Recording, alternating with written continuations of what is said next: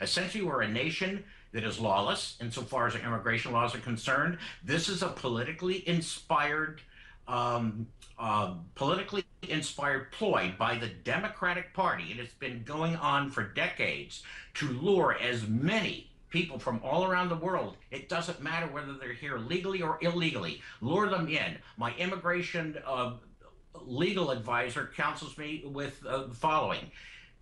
Uh, five years after amnesty is uh, given to the illegal aliens, they will become voting citizens. And more likely than not, at least 90% of them are going to support the Democratic Party. And for the first time in the history of the United States, we will be a solid one party system. It's the same kind of system they have in China. It's called one party communism. This is offensive. Um, what are we going to do? We, we can't do anything. We have a, a tyrannical government and a wayward Congress who, for the past few decades, have let this happen. Um, why? I, I again, I, I, I leave you with this mantra. You and your audience and me, we are essentially Americans without a country.